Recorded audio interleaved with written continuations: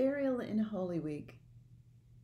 This is a poem by Sally Thomas, born in Memphis, lives in North Carolina, and she published her first full length book last year. It is Motherland from Alex Pepple's Able Muse Press, and we have permission from Alex to read from the book and Sally. Burial in Holy Week. All our lives are just an eyelash, said my friend, beside her baby's grave.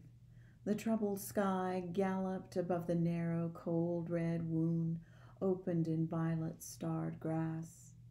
A monastery graveyard, a strange, apt place for a girl to find herself in white, an involuntary bride, in a celibate communion, facing God, who had given and received in one dread day. The little box was settled into earth, heavy coverlet turned up, the clotted clay spaded smooth.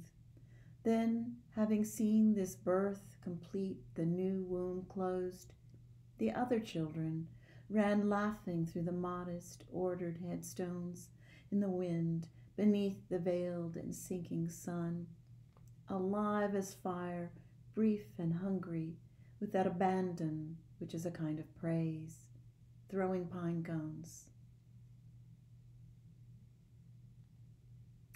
I'll read uh, another poem by Sally another day.